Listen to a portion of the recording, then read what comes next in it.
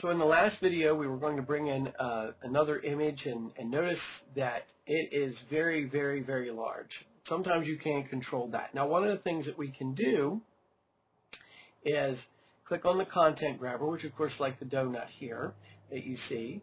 Uh, I've zoomed out. I did a command minus or Apple minus until I was able to zoom out and see this whole thing. Sometimes uh, students are like, where's the image? Well, it's so big that, you know, it's bleeding off the page, really, really, even off the workspace. So that said, I come up and grab a corner, hold my shift key down, and scale the image in, and you can see it's already starting to take shape, but it's so large. There we go. That's starting to make a little bit more sense, getting to the size that I want. Now, if I go to View on the menu bar, and I fit Page and Window, I'm back to the top. Now, if I grab the content grabber, the little donut, I'm going to slide the graphic around, and you can see the, the brown represents the actual image. The blue represents the frame itself. I'm just going to bring him in there a little bit. That looks good, and there's my graphic. Size to the way I wanted it. Now that I have this set, I'm going to do another little object, effects, drop shadow. I love drop shadows. I'm going to click OK, and there he is. Kind of position him here off the page a little bit. And there we go.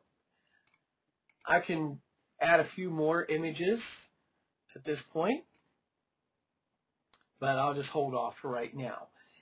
So, that's how you add images, scale them down, add text, uh, scale it up, scale it down by changing the font size, just like you would in Microsoft Word. No different. Um, if you wanted to add a few other things to play around with, maybe changing the opacity, um, clicking on the graphic and coming over to effects and say, hey, well, let's lower the opacity down of the image. You might get a totally different look and feel for your document. A ton of things that you can do, uh, limited by your creativity. So with that, one of the final things that we will do is export this out as a PDF file. Remember, Jeremiah Johnson in the assignment does not have InDesign. So he's going to require you to send this to him as a portable document format file or PDF file so he can preview the document on his computer.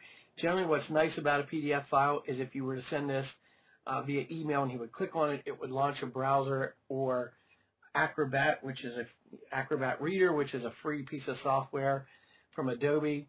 Or if it's in the browser, it would already be there as a plugin, and he could actually preview this either via the web or open it right up uh, without having to have InDesign. That way, there's no missing uh, links to pictures or the fonts that wouldn't have on the system. So a lot of good reasons why to send this as a PDF document. And it's very easy to create this. So let's go to File and Export. And I'm going to export this out as book covers PDF. I'm in my book covers folder, which of course is on the desktop. So everything is in that folder. That's why we created it right from the get-go. At this point, I'm going to select Adobe PDF Print. If it's anything else, select that because we want it for print. And then click Save. You'll get a secondary dialog box. You want to make sure it's for high quality print. So if it's any of these other ones, make sure it says high quality.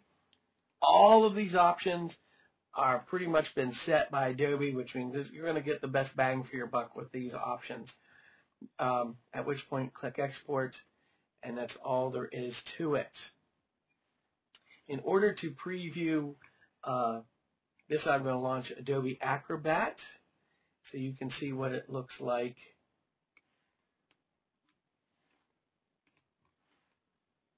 file open, Australia cover PDF.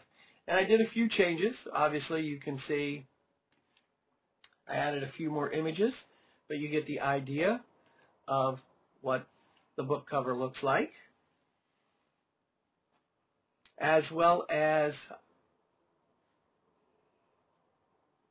we're going to show you the India one, but this gives you an idea. Hope this helps.